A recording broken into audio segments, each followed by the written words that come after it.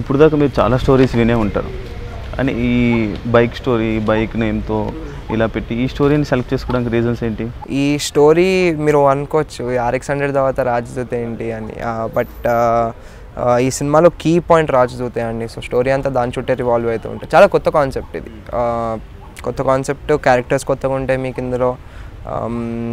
So yes it's just new try trying అనొచ్చు yeah ఇప్పుడు RX hundred మూవీలో bike name పెట్టి లవ్ స్టోరీ నడిపించి కథ అదొక సూపర్ హిట్ అయింది. ఇప్పుడు రాజ్దూత్ అనే ఒక బైక్ నేమ్ పెట్టారు. ఇది ఒక మంచి క్లిక్ అవుతుందని ఆ ఎక్స్పెక్టేషన్స్ తోటి కానీ ఏమైనా పెట్టడం కానీ లేదండి. మాకు ఈ సినిమాకి రాజదూత్ తప్పితే వేరే టైటిల్ పనికిరాదు. Yeah, అంతేనా? అంతే. ఇప్పుడు కొత్తగా వస్తున్న హీరోలు బోల్డ్ కంటెంట్స్తో కొన్ని రొమాన్స్ సీన్స్తో జనాలకు పరిచయం అవుతుంది.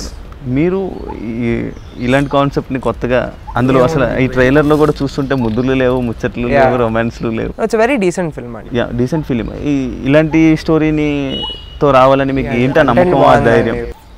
కంటెంట్ బాగుంది కాబట్టి చేసాం. యా బోల్ సీన్స్ అంటే ఏం ఎక్స్పెక్ట్ చేయొద్దు ఈ సినిమా నుంచి. అసలు మంచి కంటెంట్ ఇప్పుడు అమ్మాయి ఒక హీరోయిన్ ఉన్నదంటే ఒక కెమిస్ట్రీ ఇవ్వండి మీ ఇద్దరి మధ్య ఒక కెమిస్ట్రీ లాంటిది జరుగుతూ యా ఉంటుంది. అది అవసరం ఉంటే పెట్టుకోవచ్చు అండి మా స్క్రిప్ట్లో అవసరం లేక మీ మీ స్క్రిప్ట్లో అవసరం లేదు. సినిమా స్టార్టింగ్లోనే నాకు నా girl friend already we'll already be in love.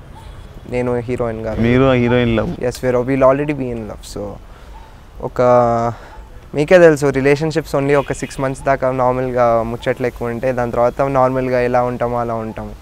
So ఆ కంఫర్ట్నెస్ వచ్చేస్తుంది. సో ఆ కంఫర్ట్నెస్తోనే ఉన్నాం.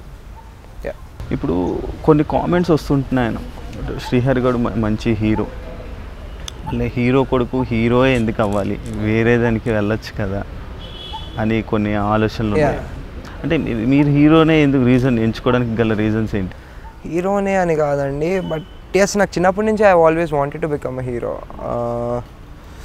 because character హీరోగా చేస్తే we can explore different different roles especially ఈ యంగ్ ఏజ్లో వస్తున్నా కాబట్టి చాలా చాలా టైప్ ఆఫ్ రోల్స్ చేయొచ్చు ఛాలెంజింగ్ రోల్స్ చేయొచ్చు అన్నీ ఒక ఎక్స్పీరియన్స్ లాగా అయిపోతుంది. ఇప్పుడు అంటే మీరు ఎప్పటి నుంచి ఒక హీరో అవ్వాలని అనుకున్నారు? అంటే నాన్నగారు ఉన్నప్పుడు నాన్నగారు సినిమాలు చూసి ఏమైనా ఇన్స్పిరేషన్ డాడీతో ఆ సినిమా చేసినప్పటి నుంచి తర్వాత నుంచి డాడీ కూడా అదే అంటుండే చిన్నోడిని హీరో చేయాలి పెద్దోడిని డైరెక్టర్ చేయాలి అని చెప్పేసి. ఇప్పుడు మీ ఫేస్ని ట్రైలర్లో చూసినప్పుడు అంటే మిమ్మల్ని ట్రైలర్లో చూసినప్పుడు మీ మాటలు కానీ. మీ ఫేస్ కానీ. ఇంకా చిన్నపిల్ల చిన్నపిల్లల లక్షణాలు కానీ. అవి ఇంకా పోలేదు అని కొన్ని మంది అంటుంటున్నారు దానికి మీ మీ మీ దాకా ఏమైనా వచ్చింది? అలవాటు అయిపోద్దండి అంతే అంతే అంటే మీ మీ మీరు మీ వీడియోని మీరు చూసుకున్నప్పుడు కానీ ఎప్పుడైనా మీకు అలా నో ముఖం నేను రోజు చూసుకుంటుంటాను కదా అండి సో నాకు ఎప్పుడు అలా అనిపించలేదు. But yes I know as matter of fact నేను ఐమ్ ఓన్లీ నైన్టీన్ ఇయర్స్ కదా. సో ఎస్ నాకు కొంచెం డౌట్ ఉంటుంది వాళ్ళకి. బట్ అలవాటు అయిపోద్ది నైన్టీన్ ఇయర్స్లో హీరో అంటే ఫస్ట్ ఫస్ట్ హీరో మీరే. సిక్స్టీన్ ఇయర్స్లో రామ్ గారు అవ్వలేదా? అలా అంటారు. ఇప్పుడు అమ్మగారు ఈ అంటే మీరు సినిమా హీరో అవుతాను నేను ఇలా సినిమాలో యాక్ట్ చేస్తానంటే వద్దనడానికి రీజన్స్ ఏంటి? వద్దని లేదు మమ్మీ జస్ట్ బయట అట్లా అంటుంది వద్దనా అని చెప్పేసి బట్ షీ టోన్ మీ నీకు నీకు ఏమనిపిస్తే అది చేయి అనిపించింది. సో బ్రదర్స్ కాల్ తీసుకున్నాను నేను. సో మా అన్నకి నచ్చేసింది తీసుకున్నాను. మరి అంటే బయట చెప్పడం ఒకటి ఇక్కడ అంటే ఎందుకు అలా చెప్తున్నారండి? అమ్మగారు బయట అలా చెప్పడానికి రీజన్స్ ఏదో ఒక రీజన్ కదా. మమ్మీ అన్నకు అంటారండి. అంటే సినిమా ఇండస్ట్రీ అంటే భయం కానీ అలాంటిది ఏమి ఆ, అలా లేదండి నేను బికాజ్ మాకు మీడియా నుంచి కానివ్వండి ఇండస్ట్రీ నుంచి కానివ్వండి చాలా లవ్ అండ్ సపోర్ట్ ఉంది. సో ఎక్కడ భయం లేదు. తలెత్తుకునే తిరుగుతున్నాం మేము ఎక్కడికి రామ్ చరణ్. ధీరుడు. నాకు ఎందుకు ఐ లవ్ మగధీర్ అనమాట. అలా ఉండిపోయింది అది. So for me it still his best film Prabhas.